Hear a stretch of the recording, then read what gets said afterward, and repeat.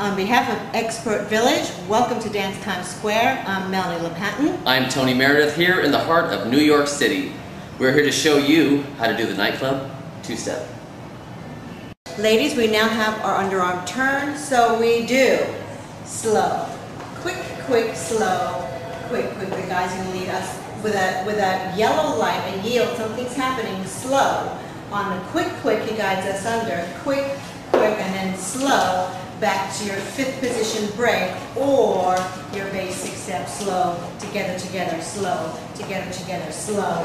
Underarm slow. Together together or slow. Underarm slow.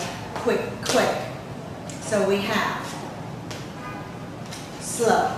Quick quick slow. Quick quick slow. Underarm slow. Quick quick. And very important to remember this slow the free foot don't bring it in too quickly. You want to leave it slow and quick, quick, slow and quick versus slow, quick.